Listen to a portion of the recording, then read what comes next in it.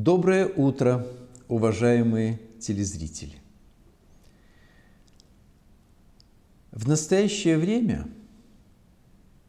помимо острых дискуссий и порой полярных мнений в обществе, да и среди верующих в Бога часто возникает, на мой взгляд, интересное тоже дискуссионные вопросы, даже не вопросы в прямом смысле этого слова,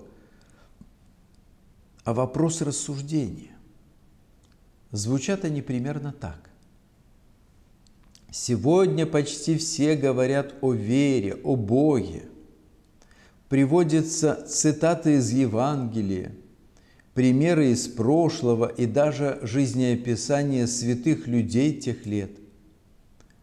Но ведь сегодня мир изменился, сегодня другое время. В основе лежит другой взгляд на мир. И может ли вообще на этом фоне верить в Бога современный человек?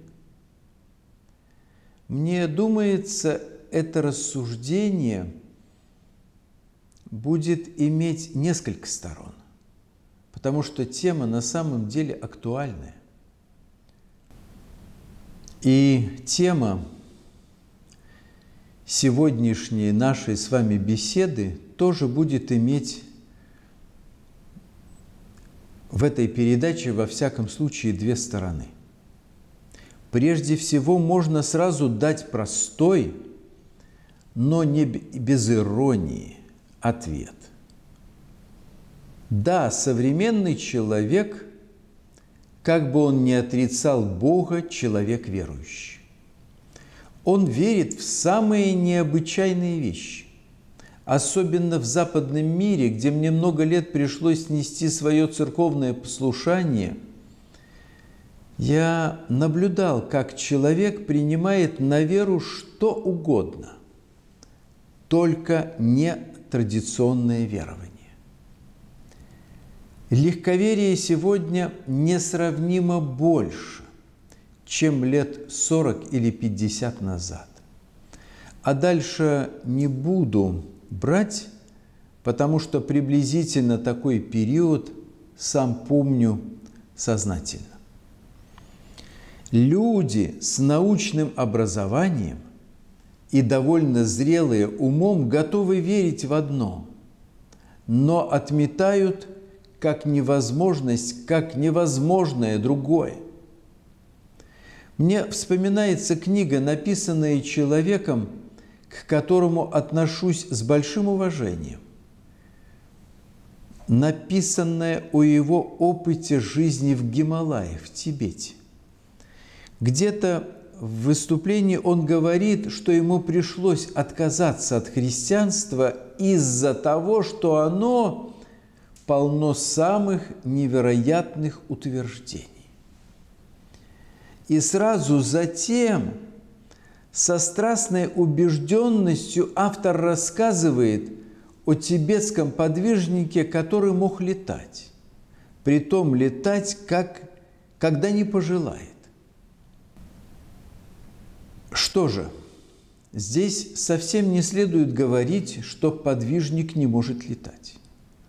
Но если верить, что человек способен летать, то тем более можно многое принять в христианстве, что представляет меньшие проблемы. Я имею в виду с точки зрения науки и более приемлемые для человеческого разума. Не думаю, не думаю, что оскорблю кого-нибудь, если скажу, что распространение веры в такие явления, как летающие тарелки, гадания, астрология и другие, поразительно возросло за последние десятилетия.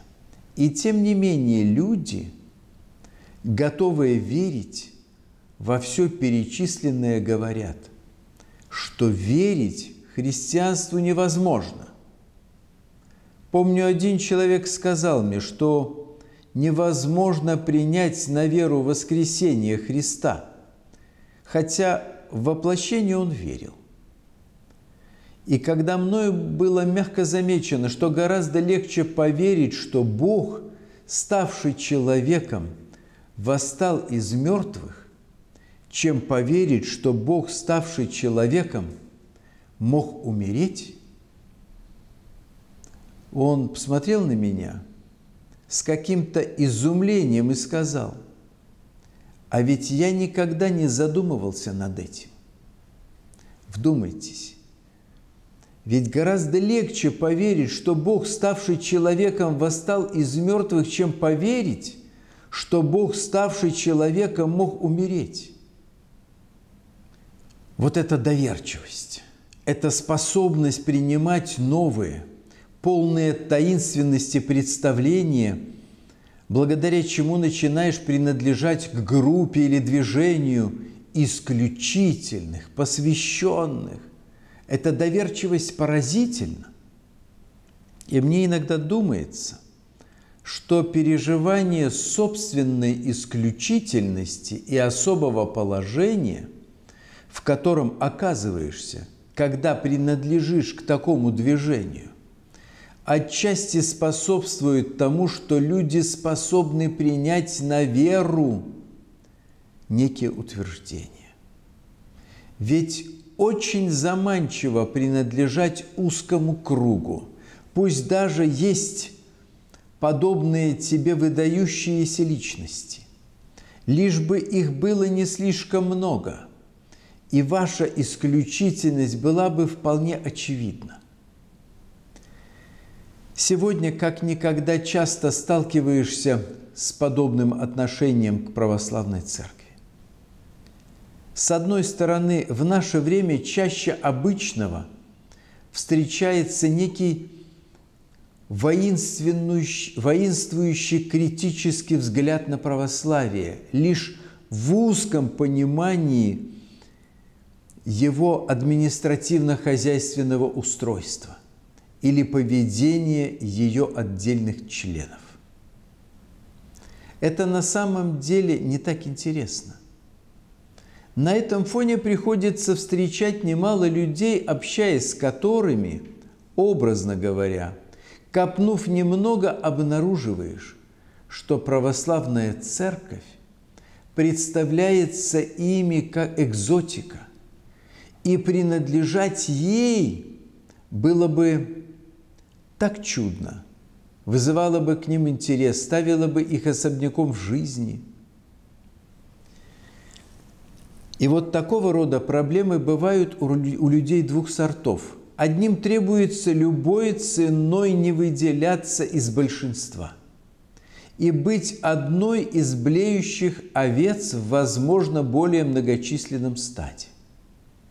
Другим, наоборот, требуется выбрать что-то экстравагантное или исключительное, чтобы оказаться на пьедестале. Но очень трудно принять что-то совершенно простое, что кажется обыкновенным, тем, той верой, которой люди жили две тысячи лет, или пять тысяч, или десять тысяч лет. А потому на фоне всех размышлений невольно приходишь к выводу – что современный человек верит так, как люди XVIII или XIX веков не считали возможным верить. Современный человек готов проглотить в что угодно, лишь бы оно отдавало новизной и вызывало волнующее переживание собственной исключительности – и необычности. А вот теперь давайте отложим этот аспект вопроса и обратимся к способности или неспособности людей верить тому, что провозглашает христианство. Почему трудно верить так? И почему мне думается, что можно быть достаточно образованным и здравомыслящим человеком, каким, простите, скромно считаю себя, и тем не менее быть искренне верующим в Бога. Об этом уже будет наша следующая передача.